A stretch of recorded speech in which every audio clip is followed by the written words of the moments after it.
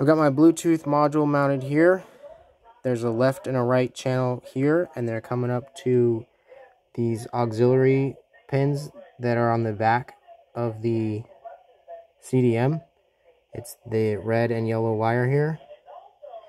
then I've got accessory power down there, just coming from the, you know, the, the wiring harness back here. And it's what's powering the Bluetooth module. I've got a ground running from the Bluetooth module to the chassis. There's a screw right there, so I mounted it there. Then I've also got a ground running from there over to the audio ground on this plug.